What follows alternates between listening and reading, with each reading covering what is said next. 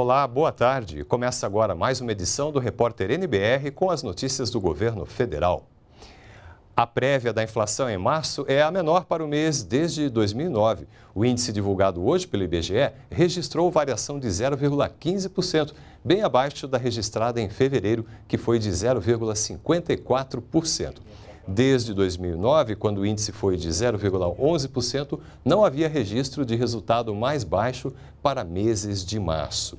E o governo divulgou nesta quarta-feira as projeções da economia em 2017. Nós vamos então ver aqui no telão. Segundo o Ministério da Fazenda, o produto interno bruto, que é o PIB, é, que é a soma de todos os bens e serviços produzidos no ano, será de 0,5% ao, ao ano. Uh, a previsão de inflação para, para este ano é de 4,3%.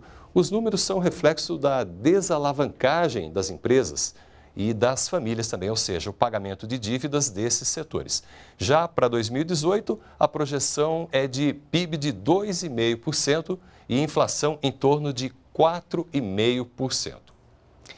E ainda hoje à tarde, o Ministério da Fazenda vai divulgar os dados do contingenciamento das despesas do governo para 2017.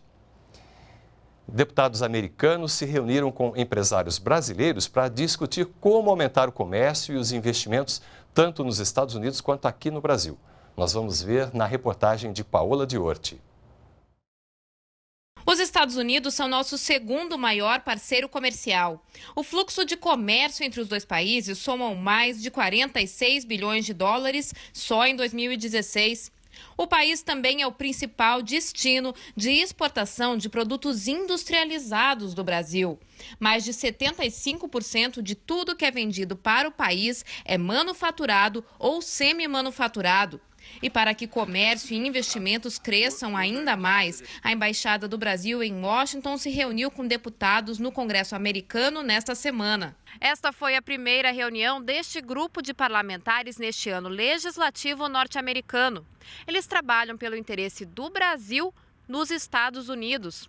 Nesta segunda-feira, eles falaram sobre as reformas que o Brasil está fazendo para voltar a receber investimentos e retomar o crescimento.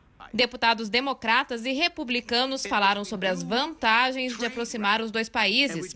Este deputado é da Pensilvânia, onde fica a sede da brasileira Braskem nos Estados Unidos. Ele acredita que em um momento em que o país está revendo suas relações com os vizinhos, Canadá e México, há também uma grande oportunidade de novos acordos de comércio com o Brasil.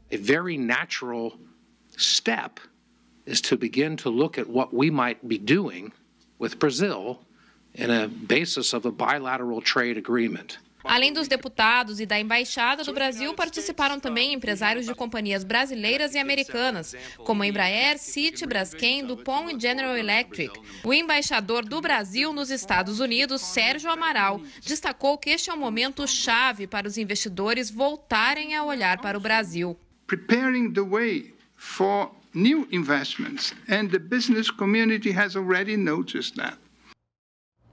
E o ministro da Agricultura, Pecuária e Abastecimento, Blairo Maggi, conversou com senadores na tarde de hoje sobre a Operação Carne Fraca da Polícia Federal. O ministro ressaltou que não tem dúvida da qualidade do produto exportado. Vamos ouvi-lo. Nas denúncias que nós temos e que nós ah, podemos aqui apresentar aos senhores, que foi relatado pela polícia, é, nenhum deles configura, com exceção de um, né? Acho que um deles, é, não configura aqui produtos de qualidade dos, do, do, do, produto oferecido. E sim problemas é, relacionados ao relacionamento dos fiscais com a empresa. Eu não tenho dúvida nenhuma, mas nenhuma mesmo de afirmar aqui perante a Comissão de Agricultura e de Assuntos Econômicos de que esse um problema, ou o problema que aconteceu é um problema localizado um problema pontual, um problema de desvio de conduta de servidores e que nós apoiamos a investigação da Polícia Federal desde que feita dentro dos critérios que devem ser feitas, que com técnicos, com todo mundo que, que conheça os regulamentos, conhece separar uma conversa do que eu acho que pode ser do que efetivamente é.